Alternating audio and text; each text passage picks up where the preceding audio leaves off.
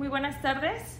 La Facultad de Derecho de la Universidad de Colima los invitamos a que se sumen a cursar el diplomado en Derecho Fiscal, el cual estamos próximos a iniciar el día 7 de julio.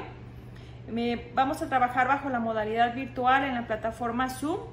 Es un diplomado muy interesante, consta de 14 módulos en los cuales, bueno, vamos a ver diversos este, temas como son las contribuciones, la defensa fiscal, el impuesto al, valor agregado, el juicio de amparo, los medios alternos de solución de controversias.